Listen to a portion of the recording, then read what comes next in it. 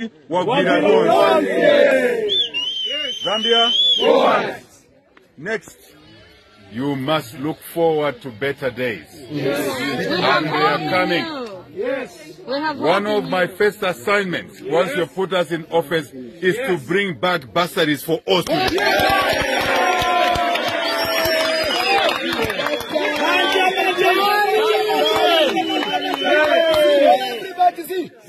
Muse.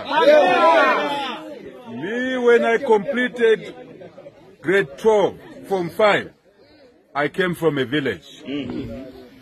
Because I passed to go to Unza, the bursary came to me automatically. Everybody who passes to go to Unza, to university, to college, as Bally comes, he will fix it. You all have bursaries.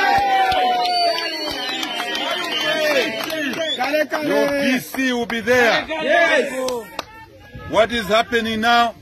BC bursaries is given to students related to politicians. Yes. What a shame. Shame. Shame. Zambia? Zambia? When I completed school at Unza there, Yes. me I was a tough monk.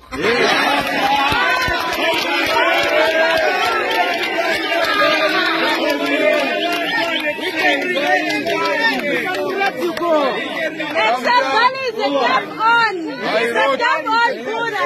Everybody see. I wrote my final exam on a Friday. I rested on a Saturday, Sunday, Monday I had a full-time job. That's what I want to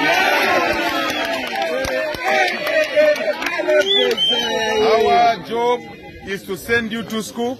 The country is rich, it has money. That presidential jet, someone is not even ashamed to buy a presidential jet for 100 your job is to get NRCs. Your job is to register as voters.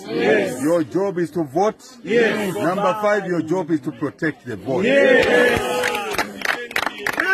Once you have done that, the rest now you leave to Bally to fix.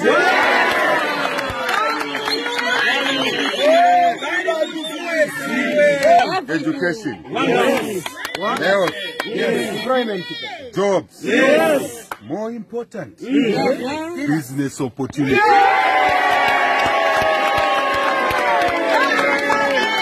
I want to say to you, I want to say to you, this country is a rich country. Yes. You guys should not be suffering. Yes. You guys should have a better life. But the missing link is uh, that there's no leadership. Hii leadership tayari. What we will do ourselves is to manage this country for economic, social, political gain, and we want you to be free again the way we were free when we were students. God bless you all.